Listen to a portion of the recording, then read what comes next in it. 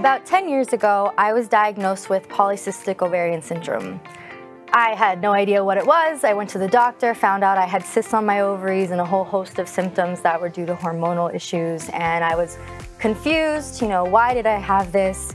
I wanted answers and I wanted a solution. And at that time, the doctor that I went to see told me, go on birth control, that's really the only solution I have for you to manage this. And at the time, I didn't want to. I was uh, ready for another option, and when I asked for one, I didn't get it. So I decided to do my own research, and I found an alternative medicine doctor, a naturopath, who helped me to identify what was really the root cause of what was going on with my polycystic ovarian syndrome and then put me on a regimen of supplements, all natural supplements, on a nutrition plan, I tried to eat mostly organic. I changed the type of water I was drinking.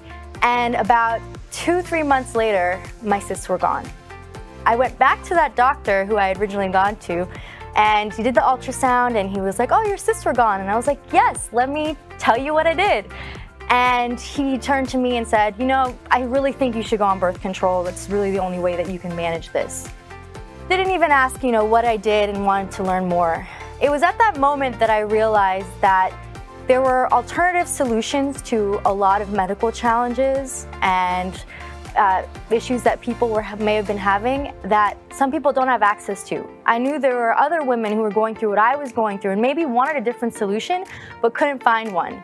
And it really led me to wanting to be on a mission to help more people have access to this kind of care and to the technologies and treatments and different ways of thinking that are out there that are available to people to live a better life, to live a healthy life, and to explore different options. So I say all this because I want you to come to the Changing Life and Destiny conference happening on April 3rd in Dallas. This is your opportunity to learn from other folks that are in this arena, in this wellness community, that have solutions for you that you may have been trying to find but you haven't had access to. If you've had chronic illnesses, if you've been struggling, you feel tired, you feel sick, and you can't figure out why, I promise you someone at this conference is going to be able to help you find that solution.